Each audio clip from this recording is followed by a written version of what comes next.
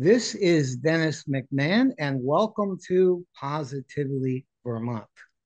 My guest today is Master Sergeant Courtney Weisert of the Vermont Army National Guard, who's going to be explaining some of the projects and opportunities uh, for service uh, with the National Guard and how people can get in touch with them uh, to find out more about it.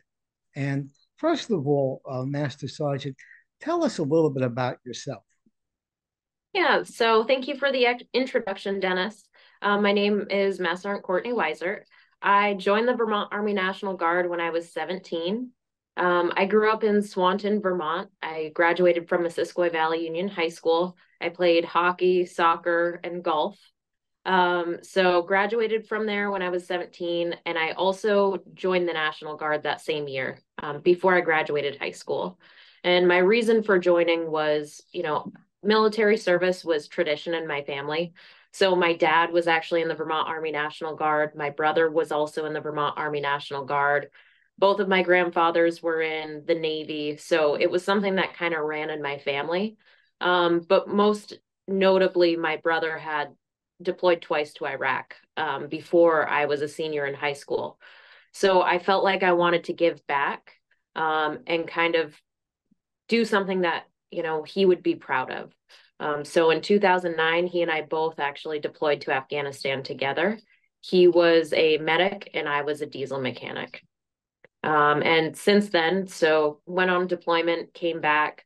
I finished my degree. I have a Bachelor of Science in Marketing. Um, and I'm now currently a recruiting supervisor. So I have 13 production recruiters that work for me. Um, and I have two kiddos, and my husband is also in the Navy. So that's kind of where I'm at now in life.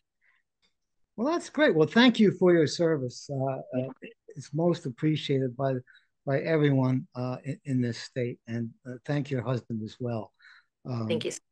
And just if you could give us a little background, a history of the Vermont National Guard. Also, a lot of people might be confused as to what is uh, National Guard reserves uh, in contrast to uh, this the regular army. I'm just using the vernacular regular army because you're all in the army, but maybe you can explain what that's about too. Yeah. So, you know, um, the National Guard is the oldest branch, right? Because we were the original militia, um, the Minuteman, right? That's our that's our logo that we wear proudly. Um, but you know what separates us from active duty is, you know, first you have big army, right? And they're kind of the umbrella. And then you have the National Guard, Reserve, and active duty under that umbrella. What separates us from the reserve component, which is who people usually get us confused with, because we're both part time service, the National Guard is specific to the state. So the governor of Vermont can activate us, um, which the reserve component, he cannot do that. Um, the, the National Guard is also here for times of natural disaster. So when you see things on the news about, you know, major flooding, like the floods that happened in Montpelier, that was our soldiers out there helping you know helping people evacuate their houses bringing fresh uh, fresh water and food all of those kinds of things that's what the national guard does. Another one that people um, saw a lot of the national guard for was covid. So we were actually the ones that went and built the hospital at the expo center. That was actually our, our army band. Um, we have a band here in the vermont army national guard and they were the ones who went out and built the hospital.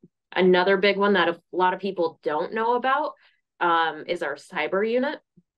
So when UVM got hacked, um, it was actually our cyber unit that went in and helped them get rid of the hackers and rebuild their infrastructure. So those are just some of the things that we as the Vermont Army National Guard do. Um, the reserve component, they don't help in those uh, times of natural disaster because they're really to supplement active duty on deployments, um, which is something that we also do. We also go on deployments as well. So, as I mentioned previously, we did deploy to Iraq a couple of times in the early 2000s to Afghanistan. More recently, we've deployed to Kuwait, Horn of Africa, um, Germany, Kosovo. So we send soldiers there as well. Um, once every five years ish is kind of our deployment cycle. That can vary largely based on the needs of big army, right? If they need our help, then once every five years we can go. If they don't need our help, then we get to stay here in Vermont. Can you give us an idea of the numbers? Uh, how many members uh, are there and where uh, you are all based? Yeah, so currently we've got about 1,800 soldiers in the Vermont Army National Guard, and we're based all over the state. So if you, we have a an armory in Swanton, Vermont, and then as far down south as Bennington. So we're kind of everywhere. Some of our armories are tucked away in, you know, uh, uh, smaller communities. And then we also have, you know, here in Colchester at Camp Johnson, we also have a big facility. So, but we are spread across the state, and that's to make sure that, you know, we have access to all different parts of the state. And this year, uh, starting in January, what what activities ha has the Guard been involved with locally or, or internationally? Yeah, so this year, one of the biggest things that we've done most recently is we just sent um, some of our medics and doctors over to Senegal, and they're actually doing what's called a MedRex, which is a medical exercise where we're helping provide humanitarian aid and medical services to um, the citizens in Senegal. So, what that is, it's a part of what we call our SPP, our state partnership program. We have Austria as a part of that program, Senegal as a part of that program, and Macedonia. They're basically our sister countries that we're assigned to, and we do a lot of cross training. So they'll send their soldiers here to do training with us, and vice versa. Um, and you know, with our medics, our medics are over there right now one mm-hmm. learning from you know their doctors there but also showing them you know some of our latest and greatest technologies and um, ways that we provide treatment. So since January, that would be one of the top things that we've done. Interesting. Again, give us an idea. Uh, we will get into the recruiting aspects later on, but what is the average time of service uh, for the Vermont National Guard? Or do people just go in for deployments, or give us an idea of the time structure? Okay. So usually, well, not usually, every time somebody enlists into the Vermont Army National Guard or an, any branch for that matter, it's always eight years that you have to commit. But you can break up that eight years in different ways. So, our most common contract length is what they call a six by two contract. So, that's six years where they go to drill one week in a month, two weeks in the summer. Again, there is a potential for a deployment in there if that's you know in the deployment cycle but they have to serve those six years, go to drill, go to their annual training for the two weeks in the summer. And then the final two years, if they don't want to re-enlist, then they go into a pool of applicants that basically they're waiting. If there is before they enact the draft, they're waiting in that pool and they can get recalled to help supplement either active duty or the National Guard. So most people, though, most people end up re-enlisting so that they never have to go into that pool. Most people will re-enlist. Um, we do offer re-enlistment bonuses because what we've learned is that it costs a lot of money to send people to training, and we don't want to lose that knowledge, right? Um, because they've got all of the experience after six years of doing their job um, and all of the schools that they've been sent to, we don't want to lose them, right? So retention is really important to us. So most people will stay for at least 20 years. Um, there are a few, you know, that will do their six years um, and then get out. You know, they they want to get their school paid for, or maybe they just want, you know, a little bit of um, workplace experience, a resume builder. It's good for all of that but most people like to try and stay for 20 years to try and get a pension. Mm-hmm. Well, other than the, the, periods of deployment or training, uh, these uh, these uh, soldiers are at their regular places of employment. That's correct, sir. So for most of our soldiers, um, they aren't full time. Most of them are what we call M day soldiers. And that's where they're only going to their one drill week in a month, two weeks in the summer. And then they have a civilian job that they go to, you know, Monday through Friday. So that's what I did for the first couple of years that I was in. Um, I was actually a full time college student. So I would, you know, go to school Monday through Friday, and then one week in a month I would go to my drill. And then I actually worked at a daycare for a little bit as well. And then same thing, I would on my drill weekends just go to drill. Well, that sounds really interesting. In terms of, uh, let's say, variety of experience, uh, people maybe in technical fields, or people maybe in laboring fields, or maybe farmers, uh, or maybe involved in the cyber uh, world. Uh, just give us a, uh, an outlook on the, the variety of uh, outside occupations your members have. Yeah, absolutely. So we have, you name it, we've got it here in the Vermont Army National Guard. So we have doctors, we have lawyers, we have mechanics, we have childcare providers, we have teachers, literally anything you can think of. We pretty much have somebody that does that on the civilian side. Um, so oftentimes on deployments, you see that a National Guard unit will do really well on a deployment because we are so diversified as far as our skill sets. So um, I'll use myself an as an example. I have a marketing degree, uh, but I was a diesel mechanic. Mm-hmm. So, you know, I had basically two very different skill sets, but that's what makes us even better because you never know what someone did on the civilian side or what they're doing on the civilian side that they can bring to a drill weekend or a deployment. That's amazing. And um, let's let's get down to some of the details. Is, is there a age limit uh, for people uh, either joining or in the the actual service? Yes, sir. So right now, in order to enlist, we uh, without a waiver, so without any exception, 17 to 35 years old. Those are that's our eligible population. However, we do age waivers or exceptions to policy for all the way up to age, I've seen it as late as 48. So let's say that, you know, somebody has a specific degree, maybe, maybe they have, um, I don't know, uh, an environmental science degree, right? And they wanted to focus on that and they decided they didn't want to join the military until later on in life, then we can do what's called an exception to policy. And our adjutant general, General Knight, can actually sign off on that and say, yes, you know, I want this person to enlist in our National Guard. Um, but it is a case by case basis. So you have to have, you know, a good reason you know, for joining later in life. But we do have those applicants, um, and I have seen it happen multiple times. So that's for, you know, just basic enlistment. And then as far as um, oldest age, typically people don't stay after age 60 that's kind of the cutoff again there are exceptions if you know somebody is close to a 20 year retirement they may make an exception to let them stay later okay let's get into some of the uh, uh, that first of all, what what about eligibility? Uh, so let's say I'm just walking in there and I'm asking questions about how do I join. Tell us about eligibility, physical, educational, age wise. We just discussed. Tell us about that. Great question. So for eligibility, right, we already covered the age portion. For education, we require either a high school diploma or a GED. So either one of those will suffice, um, or at least some college.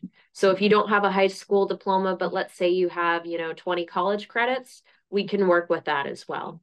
Um, so that's the education piece. Legal, so you can't have any major misconducts, right? So no felonies, that's a hard no for us um, because there is a background check that you have to go through and you have to be able to pass it. Um, if you have multiple DUIs, that's also, we can't work with that. There are some things that are waiverable. Let's say that something happened, you know, when you were 17 years old and now you're 30, you know, 17 you and 30 you are two very different people.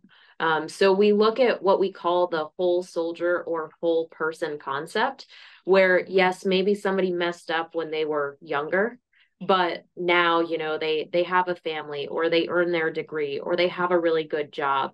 So we look at that on a case by case basis and if it's something that we think you know is not going to be a repetitive issue then we can offer you know a waiver for that or an exception to policy. So that's kind of our our legal standards our moral standards. Um, and then the physical. So this one gets a lot of people um, less than 14% of the current population is eligible for military service based on physical condition. So what I mean by that is if you have, you know, a history of asthma, um, if it was more than three years ago, then we can work with that. But if you're currently on an inhaler or taking an inhaler, then you can't join, right? And that's for the applicant's safety. Um, some other big ones are, you know, mental health. So if you're currently prescribed medication for mental health, whether it be anxiety, depression, um, that is also a, a permanent disqualifier for us. Realistically, anything that requires regular medication is usually a disqualifier because, right, if we're out at training or if we're on a deployment, you may not have access to that medication. And again, that's to keep, you know, the individual safe um, we don't want somebody to not have medication if they really need it. Mm-hmm. So those are some of the um, the physical requirements. Weight is also a, a big one now, right? We do have an obesity kind of epidemic going on. Um, and if you're o- overweight, that is also a disqualifier. Um, so that's kind of the physical portion. I'm trying to think if there's anything else for us that's a big um, issue. Those are really the top ones. Um, what I try to tell everyone though, our standards can change almost daily. So, mm-hmm. you know, sometimes if if we have a lot of people that are joining, then they'll make the standards harder, right? And we'll be a little bit more picky. But if we, you know, if we anticipate a conflict or if we see a lot of people retiring, we may loosen our restrictions um, and offer more waivers. So, the best thing for someone to do if you're unsure, go talk to a recruiter. And then, you know, if standards change, maybe you're not eligible today, but maybe a month from now, a year from now, you are eligible. And then they can get a hold of you and, and you know, see if you're still interested. So, the, the number one thing, make sure you talk to a recruiter. Mm-hmm. Now, this may seem like a strange question, but is there a citizenship requirement? There is actually. Thanks for bringing that up because that is a big one. Um, you have to be either a U.S. citizen or have an I-551 card. So, and to be honest, we've had a an influx of interested people that are I-551 card holders. That's and we, resident? Correct, sir. Right. So that is lawful permanent resident. Some people call it a green card. Mm-hmm. Um, and they can actually enlist and we will help expedite their citizenship. So that has been a really big benefit for a lot of our applicants because now they're not having to pay the fee to get their citizenship. Um, and we can actually help them get it within 90 days of enlisting, which is really, really fast. Um, because if you talk to some people, you know, they have to wait a year to get their citizenship, not when you join the Guard. So that actually has been, um, we have seen an uptick in green card holders wanting to join the military. And not just for their citizenship. Um, example, we just had a young lady that we enlisted from Jamaica. She wanted to join because when she moved to America, this gave her a new life right? She was able to do so many things here um, go to school, get a great job, um, great health care, all of these things that she wasn't getting. And she wanted to give back because this was just such a good opportunity for her. That's great. Well, let's uh, just uh, explain briefly what are some of the benefits of joining the Vermont. So, yeah, so we have a ton of benefits, and we'd be here all day if I listed them all out. But kind of our top three one would be our free tuition program. So that is free tuition to any in state school to include UVM. Um, we will pay free tuition. So if you commit to us, it is uh, for every one year of school, it's a two year service commitment. So if you do an eight year contract, you can get your four year degree completely paid for. Um, and we have a lot of people that do that. If you want to go to, let's say, Champlain or um, Norwich University, we will pay up to the UVM rate. So that is a good chunk of tuition that's taken away. And then I know that a lot of the private schools, they offer grants for service members. So if you use our tuition assistance plus, you know, whatever grants that they have, um, then you can go for free. One of the other education incentives that a lot of people don't know about is our Buxton Scholarship, which is a full ride to St. Michael's. Um, they'll pay for the entire thing and you can apply for that right after you enlist into the Vermont Army National Guard. So that's a really good, good um, free tuition benefit as well. And then the other one, we just awarded two Minuteman scholarships to two, or sorry, one student from Essex High School and the other one graduated from Montpelier High School. But again, these are full ride scholarships. Um, both of them went to Syracuse and they are going to Syracuse completely free. Their room and board is paid for, their tuition is paid for, they get a book stipend, and then they also get paid for their drill weekend. So um, for those scholarships to Syracuse for a four-year scholarship, it was it was over three hundred and fifty thousand um, dollars that the scholarship was worth. So that was pretty impressive to me. I mean, that's worth more than my house. So um, you know that was that's a really good benefit that not a lot of people know that we have. Um, and then I would say our other two outside of, you know, education, our health insurance is really good. For a single soldier, it's about $50 a month. For a family, and you could have 10 kids, it's $250 a month. So it's really affordable. There's no copay. Um, and a lot of our soldiers that, you know, are traditional one drill week in a month, two weeks in the summer, and have a civilian job, a lot of them still opt into our health insurance because it's it's so affordable. Um, and then the last benefit would be the paid job training. So, like I said, I was a diesel mechanic.